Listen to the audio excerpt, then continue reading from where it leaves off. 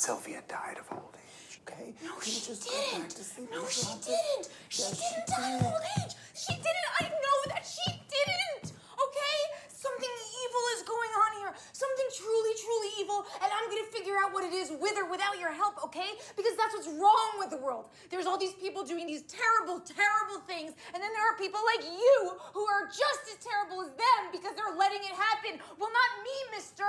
I'm trying to be a good person and you're not supporting It me. Strikes me that you might have a little bit of an injudicious view of me, people like me, people who have supported you, You're indeed, financially me. for the last Do six you months. get that? I'm so, so tired of you not Ooh, supporting ooh, me. yeah, yeah, yeah,